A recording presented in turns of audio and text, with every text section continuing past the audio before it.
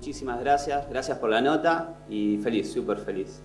Me imagino, ¿no? Qué responsabilidad, tercero, contame un poco cómo fue la experiencia el pasado día lunes.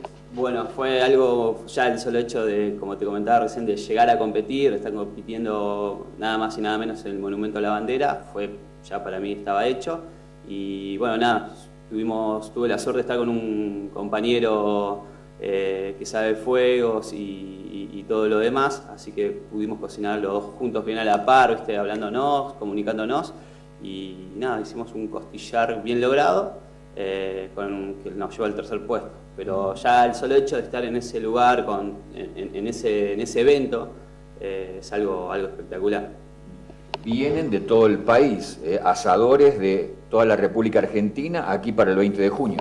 Tal cual, sí, sí, es, lo que me decía eh, Mara. Yo, yo me metí en, esto de las competencias por Mara. ella dictó en un, en un, momento un taller de asado a la estaca. Yo ya sé hacer asar a la estaca, pero como en Bariloche no usamos costillares, es más cordero patagónico, eh, faltaba por ahí aprender ciertas cositas. Y, bueno, a raíz de ese taller salió esto. Eh, Mara dictó el, taller, Mara es jueza internacional de la Asociación eh, Barbacoa y no me acuerdo bien el nombre, y es jueza internacional, así que es alguien que, que está moviendo bastante esto y está buenísimo.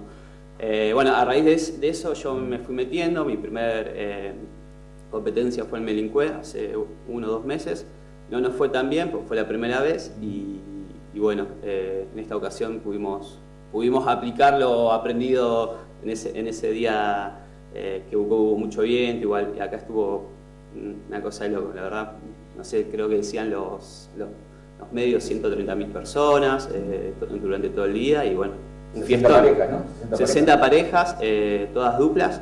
Eh, y bueno, habían seis jueces en total todo el tiempo, viendo, controlando, eh, controlan todo, califican todo, cómo prendes el fuego, la altura del, costillar, la distancia que das al costillar sobre el fuego, la cantidad de leña que usás. en esta ocasión se podía solamente usar salmuera, que me parece muy bien eso, nosotros solamente salamos al comienzo y no hubo, no hubo mucha necesidad de, de salmorearlo durante, la cocción. La cocción, ¿no? Eh, sí, sí. Eh, Héctor, ¿y cuántas horas le demandó el tiempo neto de cocinar ese costillar y arribar y llegar el, el diploma de terceros? Y mirá, el costillar, el fuego lo prendimos a las 7, eh, todo el mundo tuvo un problema con la leña que estaba un poco verde, húmeda, pero una vez que agarró, no, no tenía una llama alta, eso era para tener en cuenta.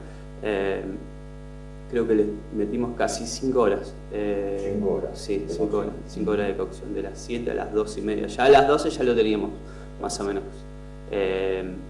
Eh, así que lo bancamos un poco, lo alejamos del fuego para que no se nos seque ni se nos pase. Y, prácticamente fue un costillar grande. ahora no recuerdo bien el quilaje, pero era bastante grande a comparación habían varios, varios, varios costillares grandes. A esos hay que tener mucho más cuidado, ¿viste? El fuego constante todo el tiempo y, cuidar que no, de no arrebatar, eh, arrebatarlo en ningún momento. Eh, fueron cinco horas, cinco horas prácticamente. de laburo. Sí, sí, de laburo.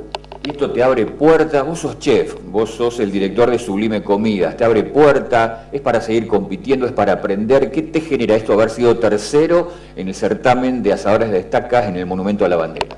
Y como te digo, felicidad yo, eh, solo hecho de poder participar y poder eh, eh, estar con gente que le gusta lo mismo, yo amo lo que, lo que hago, como decís, dijiste vos, soy chef. esto es, creo que ahora vamos a competir en Victoria, en agosto puede ser, si todo sale bien, y creo que es algo, un camino de ida, me parece, más que de vuelta.